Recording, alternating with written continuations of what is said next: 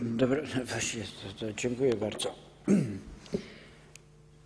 Na tym zakończyliśmy oświadczenia poselskie.